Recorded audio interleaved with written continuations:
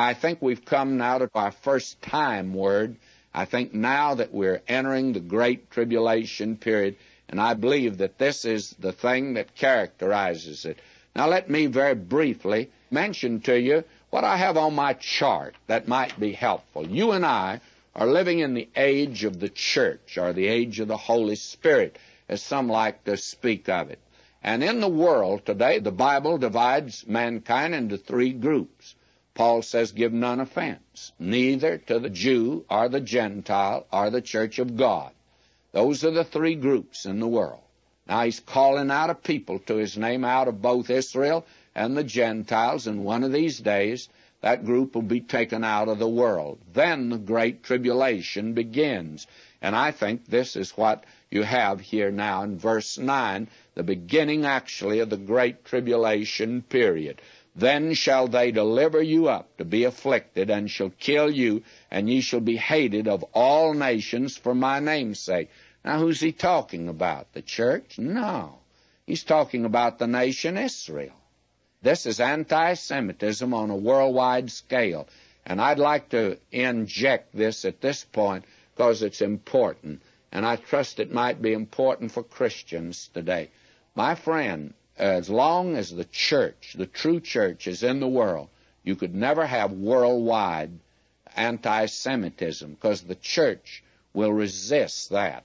No real believer in the Lord Jesus could hate the Jew. That's an impossibility. Now, I think liberalism has given a false front to these people, and in the final analysis would finally turn against them.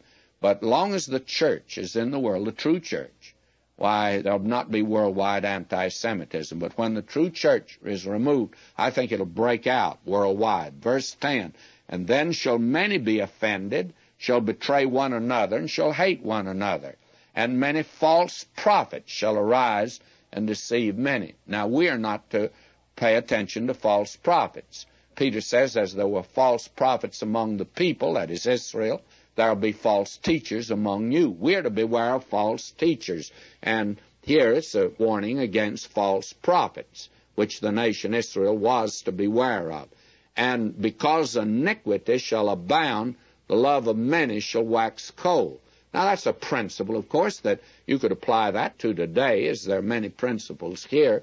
A great many people today, because of the way the world is going. I met a preacher. I'd been in school with him. And he had joined everything. He'd become a liberal.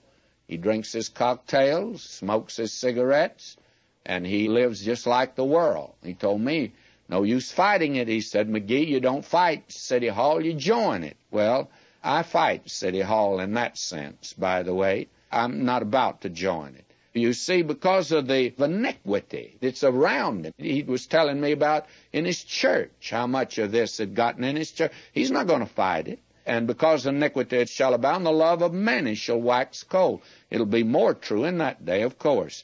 Now, verse 13 is supposed to be a startling verse. But he that shall endure unto the end, the same shall be saved. Now, he that shall endure unto the end.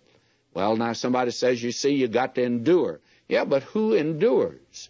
Well, when I read the book of Revelation, I find out that he stopped the whole forces of nature and of evil and even of good. And he said, we're going to seal so many. Who is it that's going to endure to the end? Those that he sealed at the beginning, of course. And he says, my sheep regardless of the period or regardless of the sheep. They're going to make it through to the end. He said that when he starts out with a hundred sheep, he always comes through. Now, who is it that endures to the end? Those that are his will be recognized because they'll endure to the end. I think again we got a great principle there.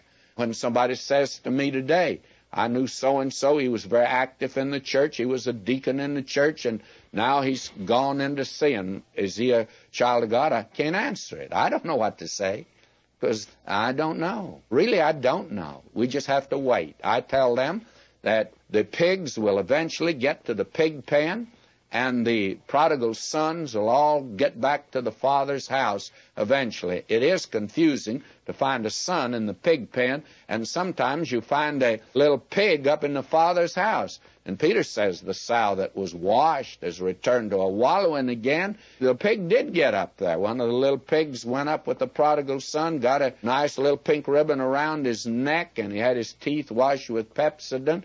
And I want to tell you, he looked very much like a real believer, but he wasn't, you see.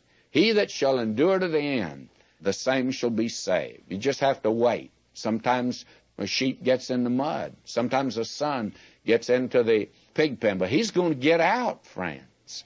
Why? Because he has a wonderful shepherd. A sheep is safe because we got a wonderful shepherd, friends. And that's what he's saying here.